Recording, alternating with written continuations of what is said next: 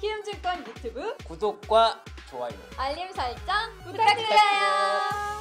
자, 지금 많은 분들이 왜 오늘 이렇게 하락을 하지? 이러고 팀장, 팀장님, 예, 좀 많이 좀 찾아보고 그 이유에 대해서도 지금 이 게시판을 통해서도 많이 얘기가 나오고 있는데 일단 앞서서 중국인 홍콩 괜찮은데 대만은 좀 하락한다. 이런 부분은 좀 전기전자랑 연결이 될 수 있을 것 같아서요.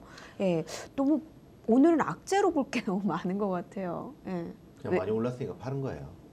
음, 그리고 외국인들의 매도도 오늘 보면은 많이 올랐으니까 팔았다라고 하기에는 지금 앞서서 관련된 이야기를- 종목들 많이 빠졌잖아요. 에, 이야기하는 것 중에 하나가 지금 한 예전엔 전기전자만 거의 근데 이제 90%인데 그거 말고도 2차 전지라든지 네. 뭐 여러 가지 것들 그동안 올라갔던 시장을 이끌었던 종목들 음. 위주로 해서 매물이 많이 나왔고요. 음, 어, 해외 시장을 좀 볼게요. 네네. 일본 같은 경우는 장중에 2% 넘게 강세를 보이다가 1% 상승을 했어요. 고점 대비 네. 1% 빠졌죠. 대만 같은 경우는 상승을 하다가 1% 넘게 빠졌죠. 고점 대비 1% 빠졌죠. 네. 음, 중국 증시 볼까요? 중국 증시를 보면 그 한때 이제 1% 어, 넘게 상승을 하다가 약간 0.2% 예, 예, 빠졌고요. 예. 0.2% 상승을 줄어들었네. 했고요. 네. 그 미국의 시간의 선물 같은 경우도 대부분 다 S&P 500까지 기준으로 보면 0.7% 올라가다가 지금 0.3% 상승에 그치고 있고요. 네, 네. 이게 뭐냐면 그동안 상승에 따른 차익 욕구들이 높아져 있는 상황에서 일부 종목들이 어, 매물이 좀 처리됐다라고 보시면 될 것 같습니다. 뭐 지금 주식 시장이 너무 많이 올랐다 글로벌 이야기 그런 건 하루 이틀 얘기는 아닌데 어, 오늘 그렇죠. 갑자기 이렇게 되는 거 혹시 31일이라서? 꼭 그것뿐만 아니라 네. 항상 말씀드렸잖아요. 네. 그러니까 어느 날 갑자기 이런 식으로 발생할 수가 있으니까 조심하자. 음, 음.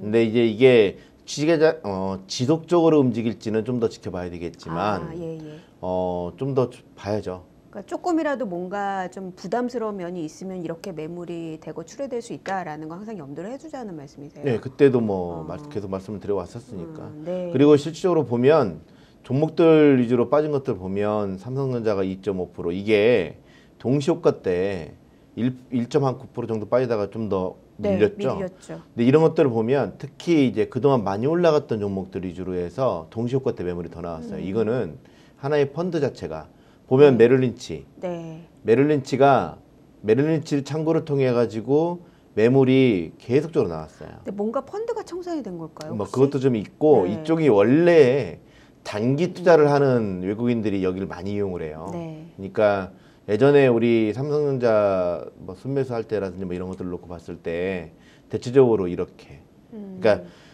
passive 자금들이 국내 증시에 유입되는 경향들은 많지가 않아요. 네. 어, 그런 상황에서 대체로 active 펀드 자금들 이게 또 음. 외국 그 유럽계 자금들의 유출입이 좀 강화되고 있는 상황이기 때문에 이쪽의 흐름이라고 네. 보시면 돼요. 근데 이게 우리나라만의 문제가 아니라 대만을 비롯해서 일본 이게 일본 증시가 왜 올라왔냐? 음, 일본 증시가 올라간 이유가 있어요.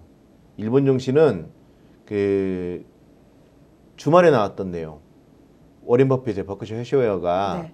그 다섯 개 미 그 일본 기업들의 이 12개월 동안 계속 조금씩 조금씩 조금씩 매수를 해서 5% 음. 넘, 넘어서 이제 공시를 했어요.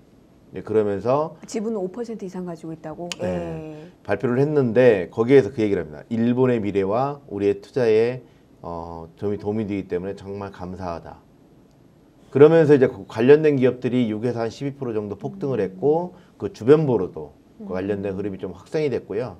만약에 일본 개별 그 이사위 쪽에서 승인을 어, 해준다면 뭐 그때 이제 9.9%까지도 매수를 하고 그 이상도 그 관련된 기업들의 이사위가 승인을 해주면 더 매수하겠다라고 언급을 했거든요. 음, 그러면서 이제 일본 증시 같은 경우는 그렇게 해서 올라갔고, 음, 그다음에 중국 증시 같은 경우 상승을 한 거는 그 대형주들, 이게 백주, 이게 네. 주류 업체들 있잖아요. 네, 네. 이제 이런 쪽이 음. 이제 강세를 좀 보이면서 어, 상승폭을 좀더 확대했던 음. 흐름. 그러니까 개별 종목들 같은 경우는 호재성 재료가 있는 종목들 같, 그 국가들 같은 경우는 다 올랐어요. 음. 그리고 물론 이제 오후 들어서는 차익 매물이 나오면서 다시 이제 상승분을 많은 부분들 반납을 했죠. 우리나라 주식시장은 좀 문제가 좀 있죠. 음. 뭐냐면 그 정부의 경, 그 사회적 거리두기 강화 이거는 투자 심리를 위축시킬 수밖에 없어요. 네, 첫 네. 번째, 두 번째는 서버디램 가격이 급락을 했어요. 네. 4% 넘게 하락을 하면서 최근에 괜찮았던 것 같은데 다시 내려갔네요. 이제 뭐 예. 그거야 뭐 재고 증가라든지 뭐 음. 서버 쪽은 워낙에 좀 별로 안 좋았다라고 네. 전망을 했었으니까 이제 그런 내용들이 나오면서 관련된 기업들 많이 빠졌고 그 대만 같은 경우도 상승을 하던 TSMC 같은 경우가 2% 1.95% 하락을 하면서 대체적으로 좀 부진했던 그런 모습들. 그러니까 악재성 재료가 나왔던 국가들 같은 경우는 그와 관련된 흐름이 투자 심리에 위축시키면서 매물이 좀더 출회됐다라고 보시면 될 것 같고 어, 상승 요인들이 있었던 국가들 같은 경우는 그 오전만 하더라도 강세를 보였, 보였 지만 오 시간이 지나면서 어, 전반적으로 아시아 시장 전반에 걸쳐서 차익 욕보들이 높아지면서 상승분을 반납을 했다 라고 보시면 될 것 같아요. 그게 우리나라 주식시장만의 문제가 아니라 전 그 세계적으로 아시아 네. 시장 전반에 걸쳐서 나타났던 현상이라고 보시면 될 것 같습니다. 네. 같이 가는 줄 알았더니 차별화가 있었네요. 그러니까 갈 이슈가 있으면 가고 하락할 요인이 있는 증시는 또 하락하고 이런 좀 약간 근데 방향성은 네. 같다라고 보시면 돼요. 음. 방향성은 전반적으로 그 오전에만 하더라도 좀 강세를 좀 보이다가 시간이 지나면 지날수록 매물이 출회되는 그런 음. 경향들이 좀 보인 게 어, 전체적으로 아시아 시장의 흐름이라고 보시면 될 것 같아요. 알겠습니다. 아, 지금 현재 장이 마감이 됐는데 동시호가 때 낙폭을 아주 많이 줄이지는 못하고 좀 마무리가 된 상황이에요. 일단 삼성전자 5만 4천 원에서 마무리가 됐네요. 어, 팀장님 그렇게 된다면 그러니까 언제 나올지 모르는 그런 변동성 외에 아주 큰 악재가 지금 오늘 나타난 것 같지는 않거든요. 아니, 뭐 이건 큰 악재라기보다는 이걸 네. 좀 보시면 네. 코스피 같은 경우는 쭉 빠지다가 반발 매수에 유입되면서 상, 그 낙폭을 네, 네, 축소하다가 네, 네. 다시 빠졌죠. 네. 코스닥 볼까요? 코스닥 빠졌다가 반등 줬죠. 네, 네. 안 빠졌죠. 음, 이게 뭐냐면 시가총액 큰 대형주들 위주로 해서 매물이 좀 출회됐다라고 네. 보시면 될 것 같아요. 음. 네, 전반적으로 시장 자체가 지수를 끌어올렸던 그 큰 대형주들 위주로 해서 그동안 많이 올랐던 종목들 위주로 해서 매물이 좀 출회된 게 가장 큰 특징이고요. 네. 그게 어떻게 보면 오늘 미국 시장의 가장 큰 화두가 될 가능성이 높아요.